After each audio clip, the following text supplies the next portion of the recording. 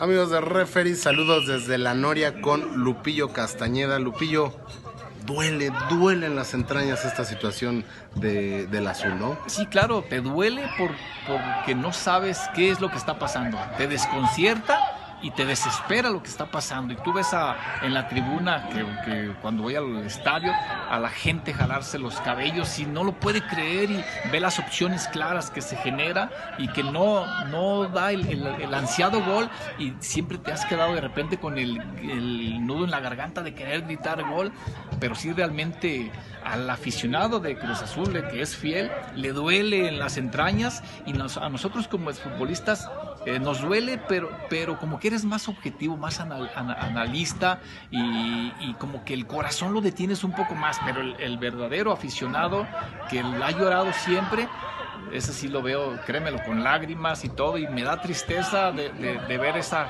esa gente. Y nada más le digo que Cruz Azul va a levantar, estoy seguro, unos partidos y ya lo verán.